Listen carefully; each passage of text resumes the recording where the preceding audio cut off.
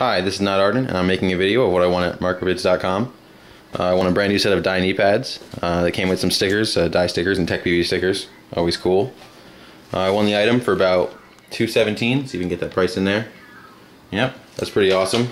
So uh, the shipping was great. It came in like four days. I'm pretty psyched about that. That was pretty fast. All the way from Florida to New York. That's pretty awesome.